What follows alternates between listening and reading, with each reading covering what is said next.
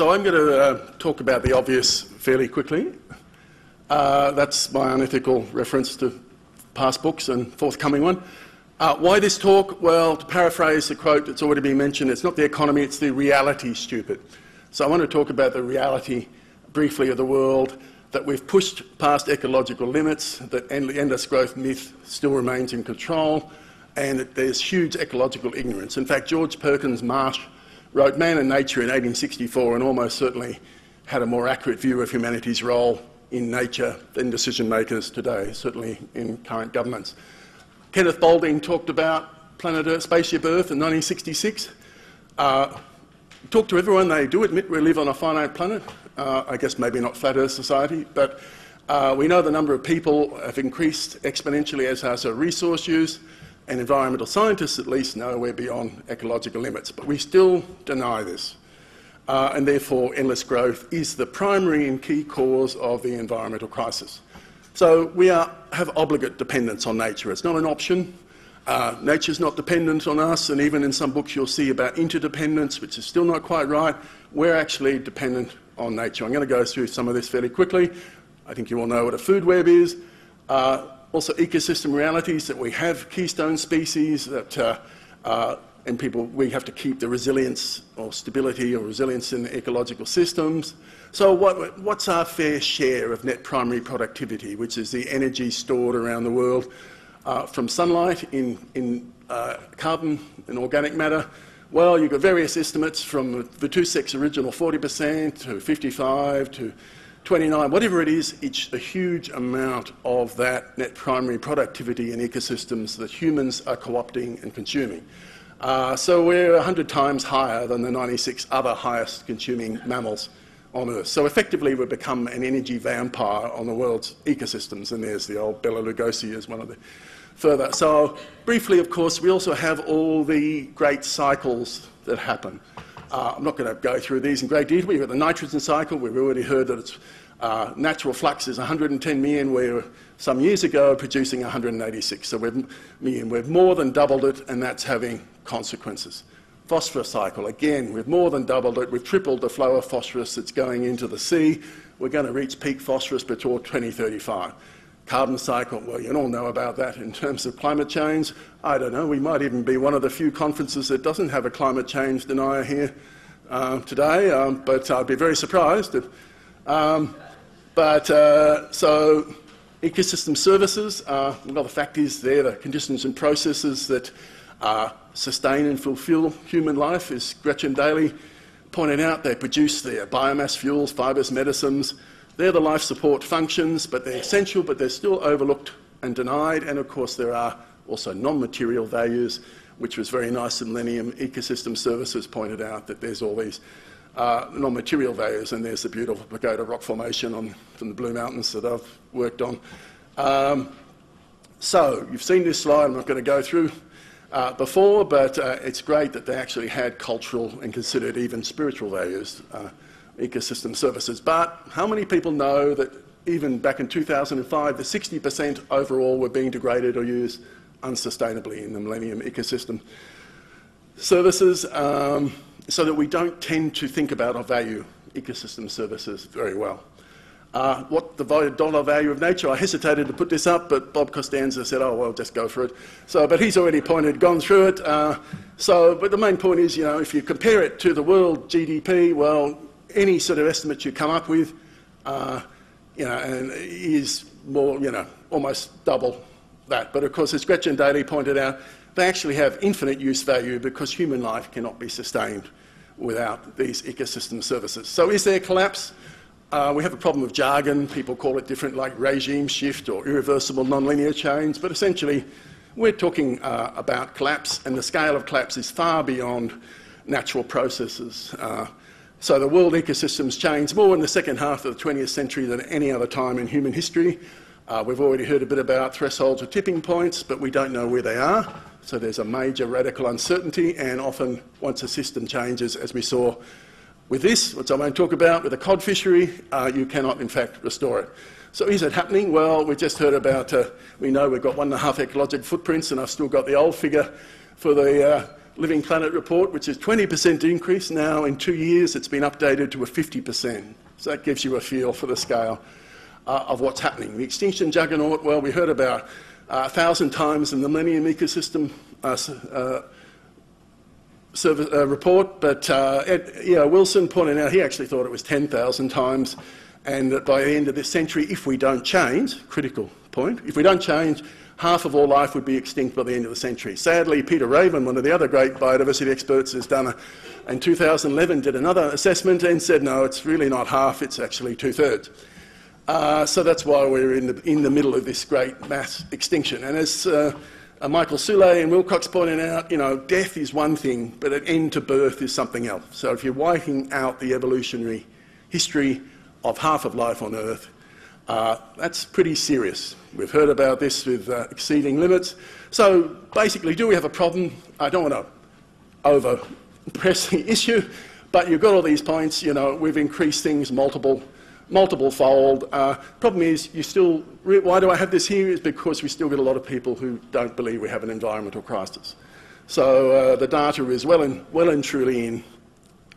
So why are we doing what we do? Teleology, the study of purpose. In a previous age, it was very important to society, as Herman Daly pointed out, but it's almost been forgotten today.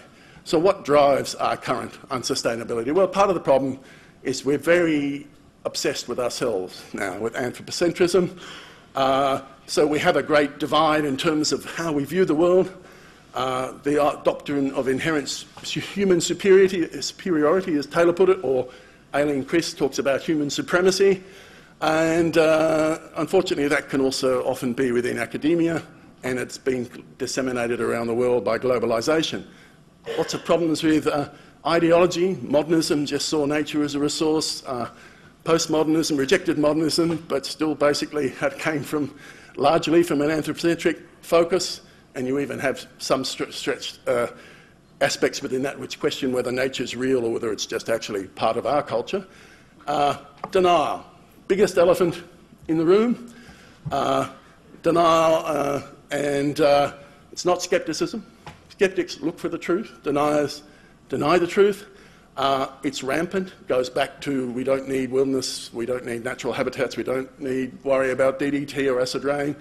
And as Naomi Oreskes pointed out, uh, this ideological aspect that free market equals liberty, so regulation uh, to protect the environment is an attack on liberty, and therefore you've got to oppose it along with the science that goes with it.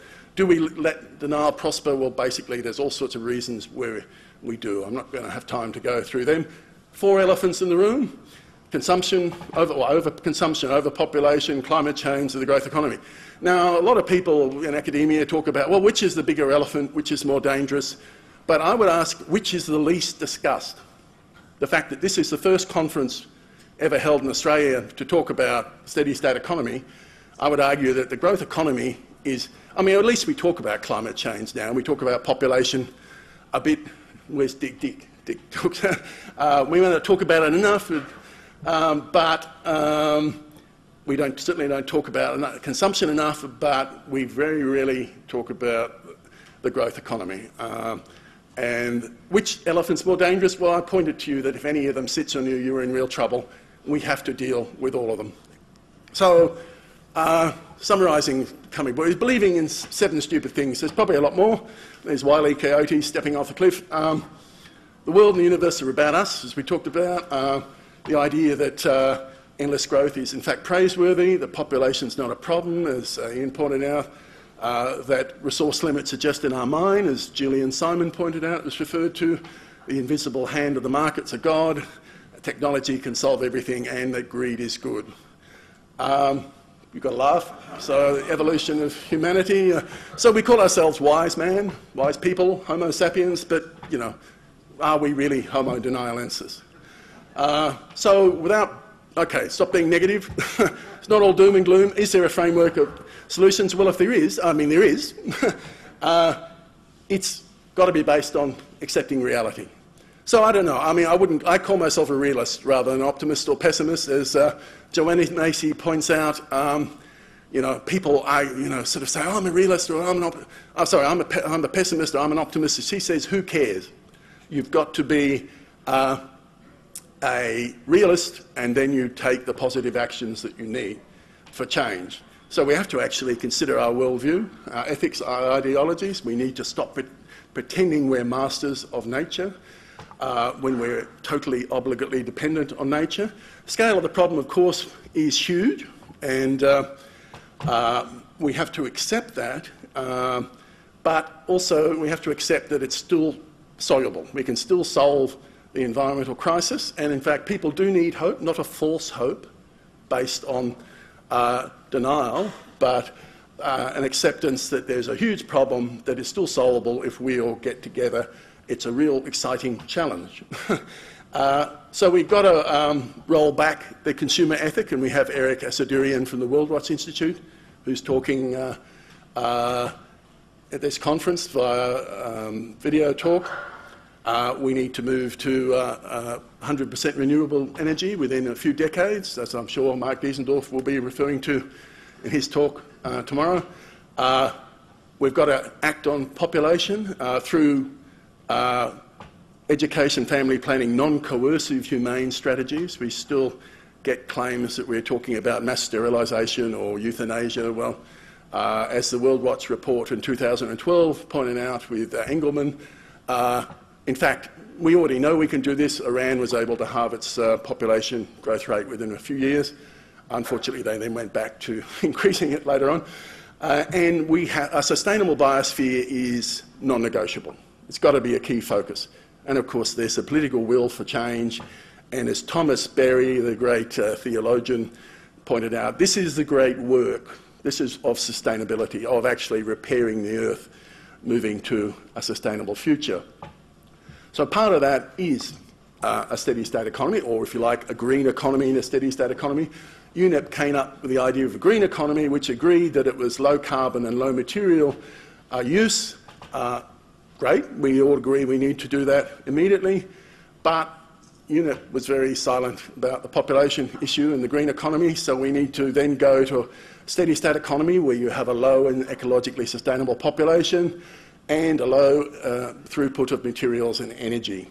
Uh, so that's going to involve degrowth, and a few of our speakers, because I've seen, privileged to have seen most of the video talks, will raise this, that uh, most of the developed countries are in fact too big and need to degrow, whereas there needs to be some further growth for the developing world just for basically fairness, equity reasons. So uh, overall though, our throughput's got to be much lower, and there's various strategies such as Factor 5, uh, which uh, you could reduce your energy material use by 80% in the developed world if we really tried. So I'd say the steady state economy has got to be a key part of this great work. I mean, society really is trapped in a no-win situation. Endless growth doesn't equal sustainability, but it does in the end equal collapse, as Ian's just pointed out, if we continue along this process. And as Jared Diamond pointed out, the uh, all previous civilizations that collapsed were virtually at the height of their power and would have considered collapse inconceivable.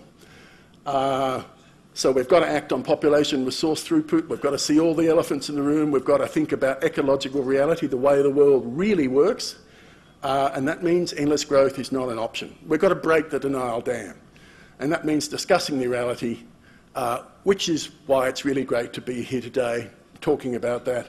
Uh, and so hence that conference is a key part of an essential dialogue we've got to have. It's not the only step, obviously. Uh, it's not the first step, but it's one step of many. And I think it's great that we've reached, uh, got a full house here today where we're actually talking about the biggest elephant in the room, I think, that we have to talk about. So i have uh, gone through fairly quickly my talk to catch up time. I'm going to finish with a couple of quotes. First one is uh, Kenneth Boulding's observation that anyone who believes in indefinite growth in any phys anything physical on a physically finite planet is either mad or an economist. Apologies to the economists in the room. And uh, the other one by inspirational Herman Daly, who sadly couldn't end up producing a video talk for us this, uh, this time for family reasons, that it is widely believed by persons of diverse religions that there is something fundamentally wrong in treating the earth as if it were a business in liquidation. Thank you.